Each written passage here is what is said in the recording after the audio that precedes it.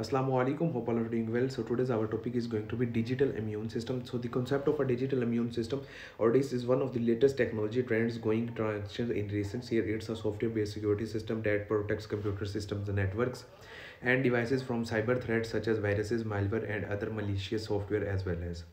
So Gartner has also stated that by 2025, companies that invest in digital immunity will be able to decrease downtime and increase customer satisfactions by 80%.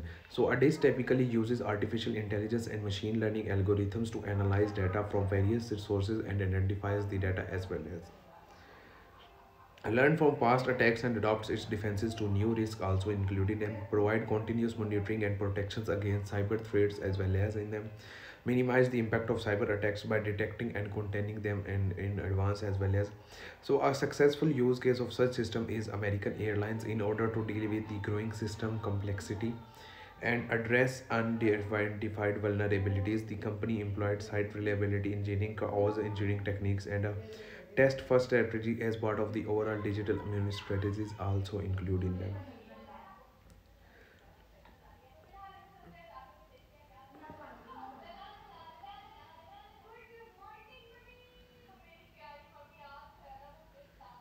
So taking acknowledgements, all of these things, it refers to the combinations of practices and technologies that ensure a fictional and streamlined customer experience of digitally driven business products or services as well as in them how they are dealing with them, how they interacting with them as well as in them we get the acknowledgements of them, how they are dealing etc. of them.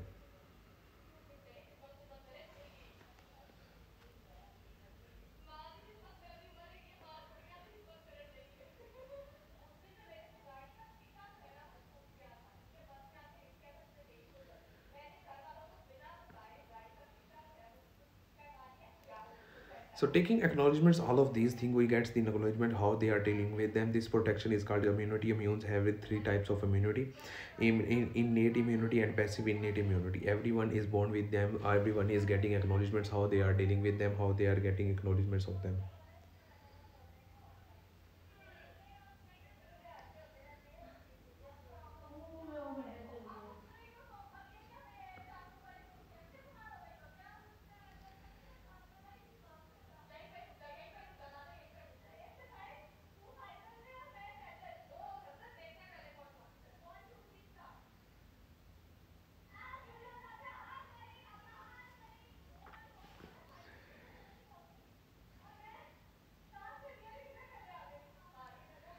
So it will innate uh, immunity, a type of general flow functions. For example, the skin act as a barrier to block germs from entering the bodies as well as uh, digital immune system refers to the set of technologies and processes used to protect digital systems and networks from cyber attacks.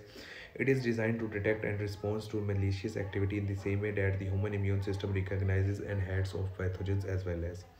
So it is the immune system in computers. So we can simply state it that these are the things by